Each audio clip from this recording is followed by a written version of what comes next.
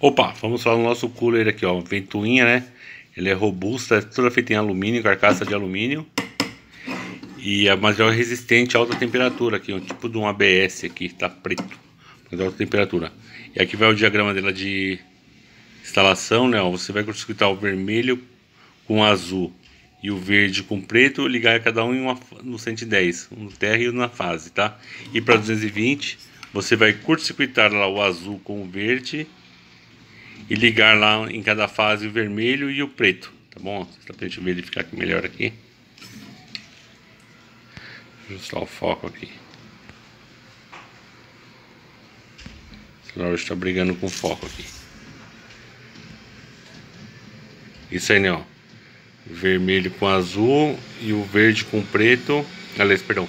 Vai escutar o azul com verde e ligar o vermelho e o preto na fase. Você vai ter 220. Ele vai circuitar aqui, ó, o vermelho com o azul e o verde com o preto ligar no 110, tá? E lá vem aqui também um diagrama impresso aqui pra gente não confundir, né? Deixa eu só dar mais um giro aqui. Opa, agora acertei aqui, peraí. Aqui, ó.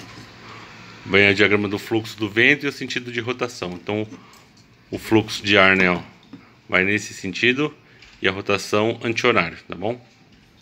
E aqui é os diagramas dela, que é as especificações técnicas dela, né?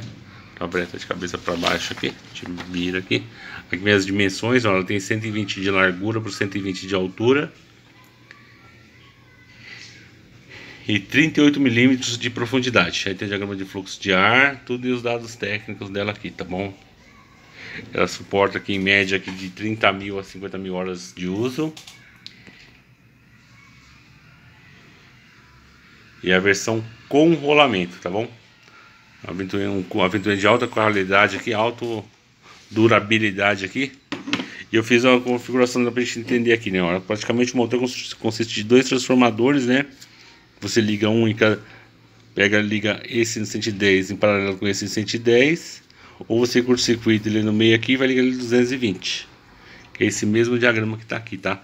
E já fiz uma configuração, ó, desse em 220 e desse aqui em 110. Só para a gente ver a rotação. Vou ligar lá, ó Vai acender um LEDzinho vermelho e já vai dar o start nos motores aqui, ó. Aqui, ó. Então pode ver que a configuração 110 ela gira aqui em alto giro, né, ó. Próximo de 30, aliás, 3000 RPM e com essa aqui só gera uma brisa, né. Vamos colocar um ventinho aqui pra gente ver aqui, ó. Ó o fluxo de ar aqui dela, né, ó. E aqui é o fluxo de ar dessa configuração 220, ó. É praticamente só uma brisazinha, né, ó. E aqui não, ó. Ventania boa. Na folha aqui. E é isso aí, gente. Produto de alta qualidade aqui. Eu vou deixar o link aqui para compra aqui.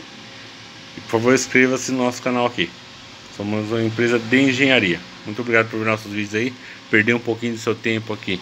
Produto de alta qualidade.